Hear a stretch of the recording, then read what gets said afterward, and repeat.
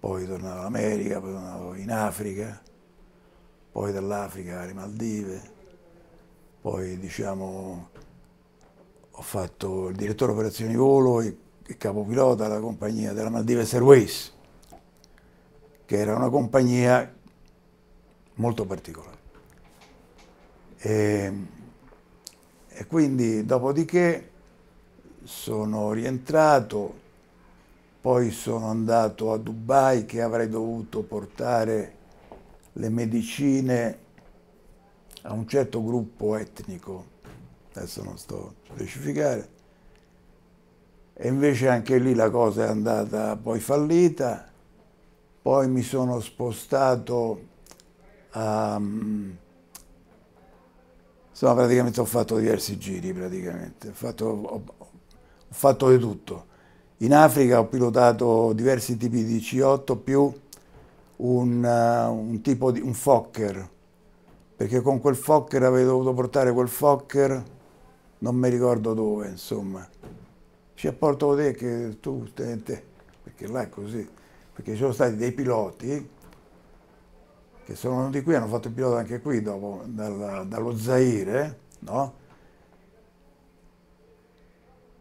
E ancora c'è chi, perché qui ci sono ancora gente di Mobutu, Mobutu era un grande, eh, aveva la compagnia sua, no? Mentre io eh, in Africa stavo con l'African Air Charter, African Air Charter praticamente, African Air Charter perché si parla francese, cioè si parla francese e la lingua locale. E con questa compagnia qui, la, questa compagnia qui era in, era in mano a un baluba. Ora qui quando si dice baluba lo si dice in senso dispregiativo. Invece baluba non è assolutamente, perché è una tribù invece di quelle molto importanti e che là si va a tribù. Là c'è la tribù e le tribù vicine, le tribù amiche e le tribù nemiche, capito? Quindi voglio dire, si va avanti così.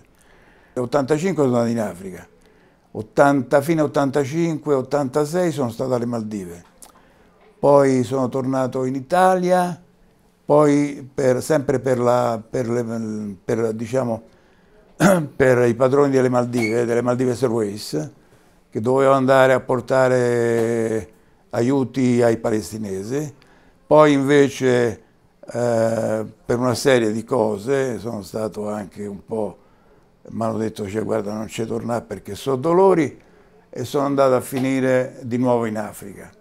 In Africa l'aereo con cui avrei dovuto volare era talmente in condizioni brutte che ho detto o lo riparate o se no meglio che lo segate in due.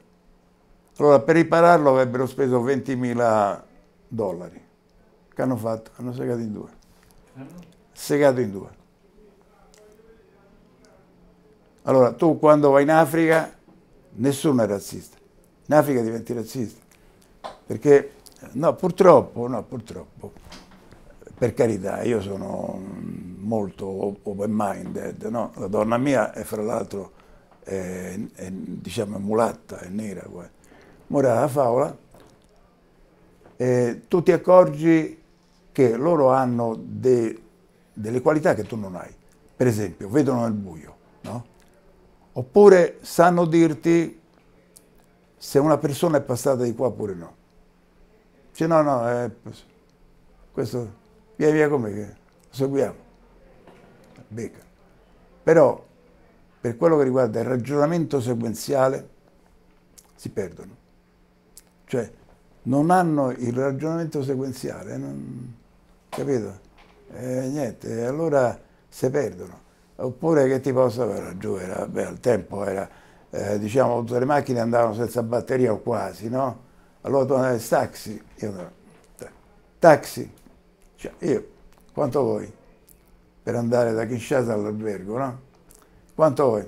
800. Dico, ma e qui il sedile, sedile giù. Dice no, vabbè, passi al secondo. Tu quanto vuoi? 400. Tu quanto vuoi? 200. Tu quanto vuoi? 100. Ma parte da sola la macchina? No, spinta. E vabbè, Fai 100, metto davanti, no? Parto. e mi accorgo che davanti non c'è il vetro. Dico fermati. Dice no, guarda 50, fai conto, no? Allora, 200, 100, 100, non ti preoccupare. E vabbè, a voltare bene con 100, per dire, no? È così. Oppure vedi i camion che hanno le gomme diverse, uno ha la gomma grossa, uno ha la gomma un po' più piccola. È così.